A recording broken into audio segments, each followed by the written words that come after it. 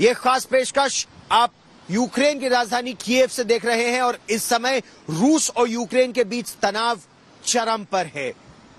रूस समर्थित विद्रोहियों ने एक इलाके में बमबारी की और उसके बाद तनाव बहुत ज़्यादा बढ़ गया है।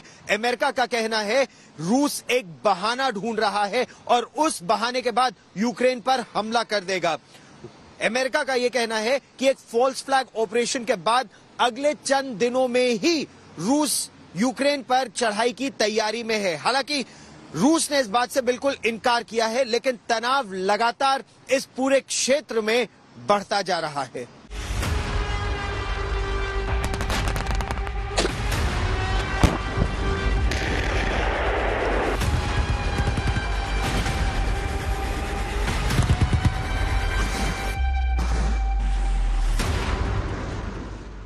यूक्रेन की सीमा पर मिसाइलें गरज रही हैं। बेलारूस की ओर जमा हुई रूसी फौजें धड़ाधड़ मिसाइल दाग रही हैं। रूस के एस फोर मिसाइल सिस्टम की पूरी खेप यूक्रेन बॉर्डर पर तैनात है। लेकिन आसमान से बरसती आग और दिल दहला देने वाले लगातार धमाकों के बावजूद युद्ध अभी तक शुरू नहीं हुआ है। ये युद्ध से पहले की कसरत है, जो सैन्य अभ्यास के नाम पर रूसी फौजें कई दिनों से यूक्रेन की सीमा पर कर रही हैं। पुतिन एक बार कह चुके हैं कि वो यूक्रेन का मुद्दा बातचीत से सुलझाने के पक्ष में हैं। इसके बाद वो खामोश हैं। लेकिन अमेरिकी राष्ट्रपति जो बाइडन बार बार कह रहे हैं कि रूस हमला ज़रूर करेगा। कल भी उन्होंने यही दावा दोहराया। हमें इस बात का पूरा इशारा मिल रहा है कि रूस यूक्रेन पर हमला करने की तैयारी में है। हमले का खतरा बहुत ज़्यादा है, क्योंकि रूस ने अपनी फौजें नहीं हटाई हैं। इसके अलावा वो लुक छिप कर भी हमला कर रहा है। की मदद से यूक्रेन के कुछ इलाकों में यूक्रेन के शासन को कमज़ोर करने में निरंतर लगा हुआ है। ऐसे में अब खतरा यह है कि क्या एक फॉल्स फ्लैग ऑपरेशन के ज़रिए रूस पूरे यूक्रेन को अपने कब्जे में ले लेगा, जैसा अमेरिका के राष्ट्रपति जो बाइडेन का कहना है, और यही बात अमेरिका के secretary of state Antony Blinken ने भी कही। लेकिन अगर यहाँ आप देखें तो जीवन सामान्य है। अमेरिकी राष्ट्रपति रूस पर लुक छिपकर हमले का जो इल्ज़ाम मर रहे हैं, उसकी वजह ये तस्वीरें हैं। एक दिन पहले यूक्रेन के लुहांस्क इलाके में बमबारी हुई। इसकी चपेट में एक स्कूल और कुछ मकान आ गए। इस इलाके में अलगाववादियों का दबदबा है, जिन्हें रूस का समर्थन हासिल है। यूक्रेन का कहना है कि हमला अलगाववादियों ने किया, जबकि विद्रोही गुट यूक्रेन की फौज पर ही आरोप मर रहा है। लेकिन अमेरिका और ब्रिटेन समेत नेटो देशों का दावा है कि विद्रोहियों की आड़ में ये हमला असल में रूस की ओर से ही किया गया। सवाल उठता है कि रूस आखिर चाहता क्या है? रूस अगर वाकई में यूक्रेन पर हमले की तैयारी में है तो उसे किस बात का इंतज़ार है? अगर रूस का इरादा हमले का नहीं तो वो यूक्रेन की सीमा से फौज क्यों नहीं हटा रहा? सवाल ये भी है कि क्या रूस ने अमेरिकी घेराबंदी से चौकन्ना होकर हमला टाल दिया है? दो दिन पहले रूस ने यूक्रेन बॉर्डर से फौजें कम करने का दावा किया था। इसके सबूत के तौर पर कुछ वीडियोस भी जारी किए थे, जिसमें रेलगाड़ी में लदे टैंक को बॉर्डर से वापस लाने की बात कही जा रही है। सैनिकों की वापसी और अपने परिवार से मिलने की तस्वीरें भी रूस ने जारी की हैं। लेकिन इन तस्वीरों में न यूक्रेन को भरोसा है, न उसके समर्थन में खड़े नेटो देशों को। यूक्रेन के राष्ट्रपति सीमावर्ती इलाकों पर गए सैनिकों के साथ मिले, उनका मनोबल बढ़ाया, नौसेना के साथ भी गए।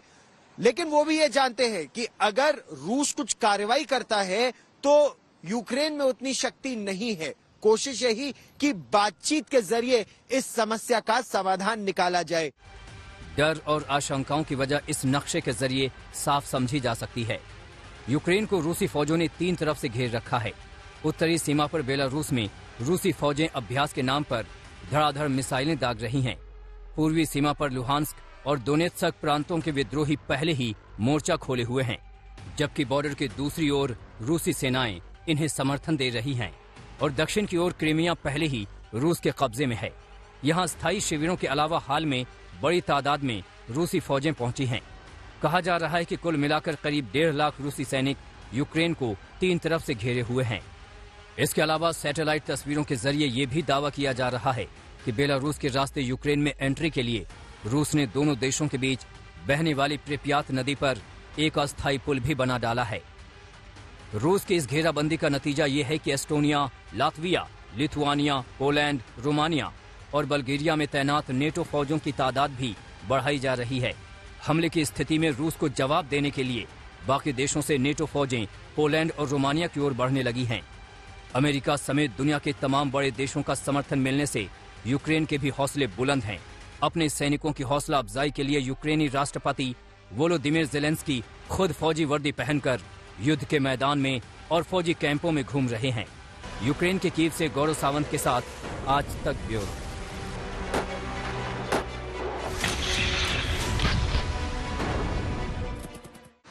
भारत के लिए इस समय असमंजस वाली स्थिति है। रूस और अमेरिका दोनों ही भारत के अभिन्न मित्र हैं। रूस के साथ तो भारत के पारंपरिक संबंध रहे हैं और अमेरिका के साथ पिछले कई वर्षों में ये मित्रता और मज़बूत हुई है।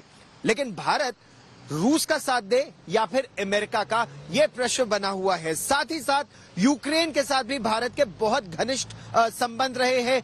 यूक्रेन जब एक अलग देश बना था तो सबसे पहले भारत का ही उसने हाथ थामा था, दूतावास खोला था। और भारत के बच्चे बड़ी संख्या में यहाँ पर मेडिसिन पढ़ने, डॉक्टरी पढ़ने के लिए आते हैं। यहाँ पर रोज़गार के लिए भारतीय बड़ी संख्या में है।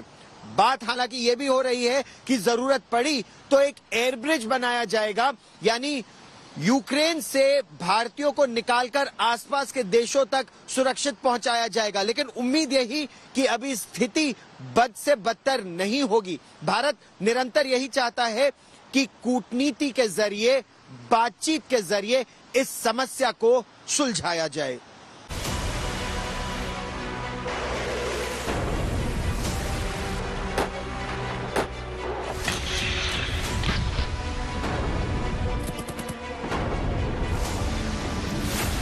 यूक्रेन की रूसी घेराबंदी के बीच नाटो देशों की बैठकों पर बैठकें हो रही हैं। अमेरिकी राष्ट्रपति बाइडेन यूरोपीय देशों के प्रमुखों से लगातार संपर्क में है। नाटो सेनाओं का काफिला भी यूक्रेन के आसपास जमा होने लगा है।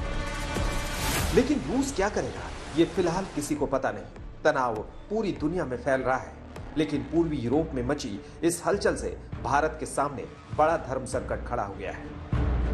एक तरफ़ रूस है जो भारत का सबसे पुराना सहयोगी है और अभी भी हथियारों का सबसे बड़ा सप्लायर है तो दूसरी तरफ़ अमेरिका है जिसके साथ पिछले कुछ सालों में संबंध काफ़ी मज़बूत हुए हैं और आतंकवाद समेत कई रणनीतिक मामलों में भारत का साझेदार है। तो अगर युद्ध हुआ तो भारत किसके समर्थन में खड़ा होगा? सवाल मुश्किल है और अमेरिका ने भारत की मुश्किल और भी बढ़ा दी। Six more weeks of winter, uh, nor हमने अपने भारतीय जापानी और ऑस्ट्रेलियाई समकक्षों के साथ क्वाड मीटिंग के संदर्भ में रूस और यूक्रेन की चर्चा की थी। बैठक में एक मज़बूत सहमति थी। इसके लिए एक राजनयिक और शांतिपूर्ण समाधान की आवश्यकता है। अमेरिका का ये बयान भारत पर दबाव बनाने के लिए आया तो भारत ने भी सुरक्षा परिषद की बैठक में बीच का रास्ता पकड़कर अपना रुख ज़ाहिर कर दिया। Uh, somebody said, uh, what, what do we know? हम राजनयिक बातचीत के ज़रिए जल्द तनाव को खत्म करने और मुद्दे का हल करने के समर्थक हैं। मिनसक समझौते को लागू करने को लेकर कुछ स्वागत योग्य कदम उठाए गए हैं। United Nation Security Council few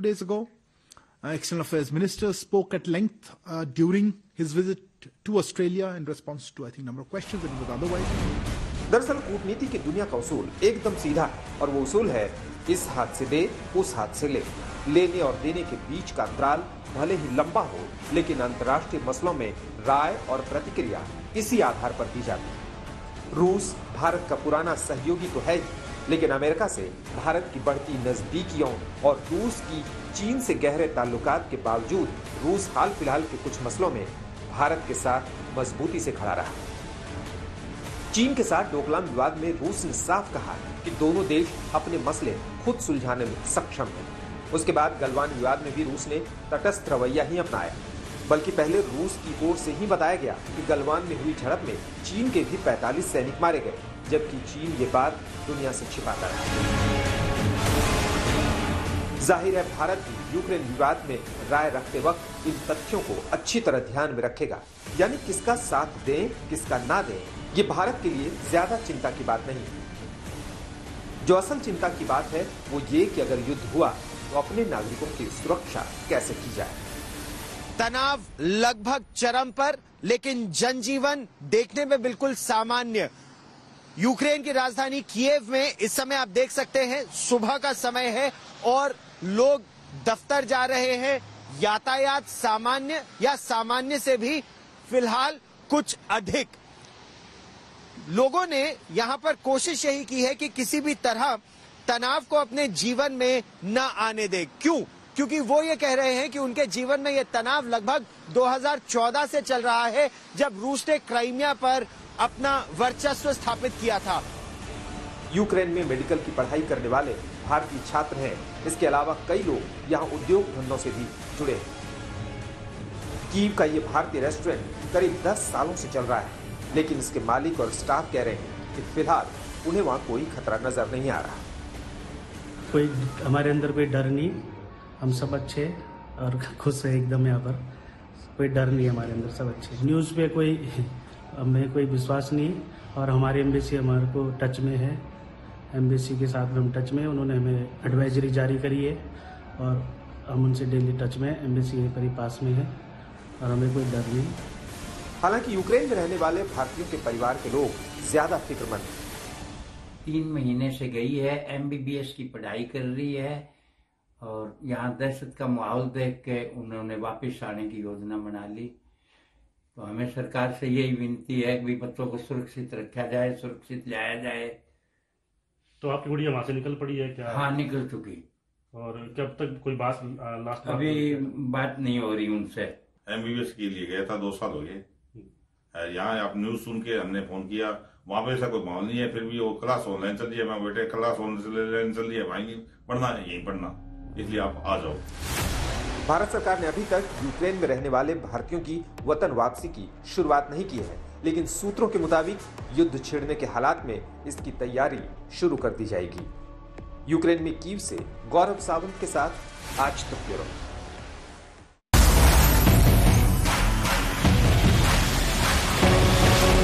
कोशिश ये भी हो रही है कि अब बर्फ़ पिघलने लगी है तो कई इलाकों में जहाँ पहले ठोस बर्फ़ थी अब वहाँ दलदल है।